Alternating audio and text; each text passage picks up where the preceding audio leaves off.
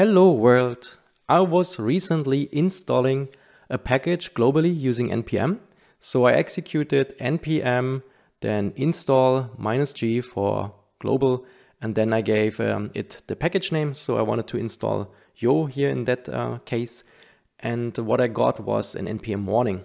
And npm told me that um, global is deprecated and I should use minus minus location equals global instead. So I was quite puzzled because I haven't had this problem before and I wanted to see what can I do about it. I found some tutorials on YouTube that were advising to patch my npm files. So they were telling me, okay, let's open up C, then program files, Node.js directory, and let's directly modify then npm.cmd and replace the minus g in that script with the new syntax here, minus minus location equals global. But those files also say in the very beginning that you shouldn't modify them manually because they are generated by npm. So I thought that cannot be the proper solution. Yeah, that cannot be the solution to the problem.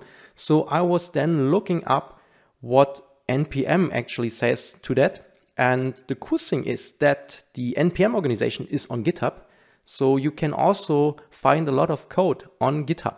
So I was checking the code here uh, from the npm CLI.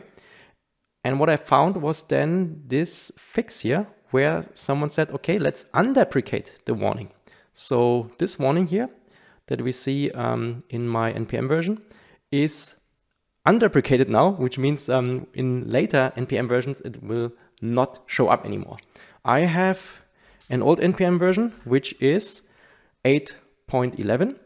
And then here in this uh, pull request, let's uh, jump to it, we can see that the NPM team says that they made a mistake in older versions and they deprecated minus minus global. That was not intentional and I rolled it back. So by upgrading your NPM version, you won't see this anymore.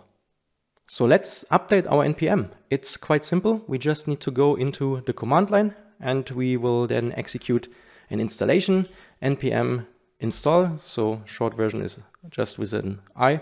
And then we say, okay, let's install something globally, which is in our case npm. So we can install npm with npm, which I find super cool. Yeah, it's like giving birth to yourself. And we can say, yeah, let's install npm in a specific version. And if we want to have the latest, then we can use this latest tag here. It will refer then to the latest version of npm. We'll still see the warning here in this case because we are installing it with the old npm version. But as soon as we have the latest one, which in my case here is now 8.13.1, yeah, as soon as we have this version, we won't see the warning anymore. So when I install now again my package here that I initially wanted to install, this uh, Yo package, when I do this with uh, version 8.13.1, then I don't get this uh, warning here anymore. That's very, very cool. And to make it like um, a nice round trip, I will also show you how to downgrade your NPM version. It's as easy as upgrading. So downgrading works by simply giving it the version number. So we can execute npm i minus g npm add and let's go back to version 8.11.0 by simply adding it here after the add character. And this will bring us back in time and give us the version that shows the warning. In the case that the update to the latest npm version doesn't fix the problem for you, then there is a workaround that you can try. So go to C, program files, Node.js, and in that Node.js directory, you will find an npm file and an npm cmd file. And in these files, I have them open here on the right, you will find this npm prefix variable that is set to prefix minus g. And the problematic thing is the minus g, and you need to change it and replace it with minus minus location equals global. So if you replace this minus g here in the npm file, then you should also check the npm cmd file, and in there you will also find prefix minus g.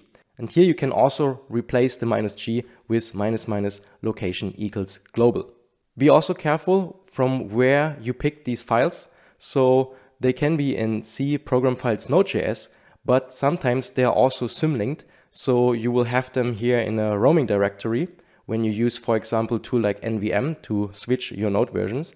And in there, there can also be a node modules directory where you will find npm. And in this directory, you can also have a bin directory where there is an npm and npm cmd file. So please check on your system which are the ones that are taken in your case and then check if you want to replace this prefix here. But again, these files shouldn't be edited manually. So this is just a workaround and nothing that I officially can recommend. Just try it first with updating npm and if this doesn't work, then you can still try to like adjust it manually if there's no other way around.